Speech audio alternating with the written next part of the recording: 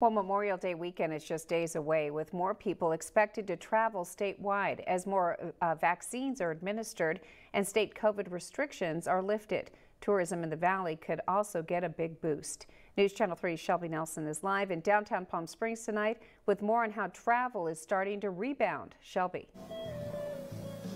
Well, Karen, with more and more of the economy opening back up, people are really wanting to probably, they're probably antsy to get out there and spend that three day weekend away from home.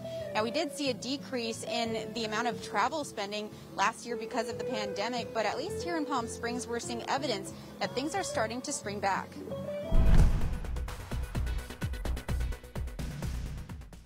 After a tough year with the pandemic, a new report showing California travel spending was cut in half in 2020.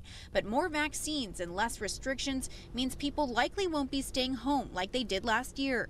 We are one of the success stories, I think, of a destination that's done well. The Coachella Valley now on a steady rebound. The latest report of Palm Springs transient occupancy tax or TOT tax collected from hotels and vacation rentals is from March. That tax nearly doubling compared to last year. I know it gets hot in the summertime, but the truth is that used to be a little bit of a barrier for people coming to Palm Springs. We're seeing that it's not really a barrier anymore. Randy Gardner with Palm Springs Bureau of Tourism says we could see travel continue into what's normally the slow summer season. We still don't have any international travel. We still don't have any Canadian traffic.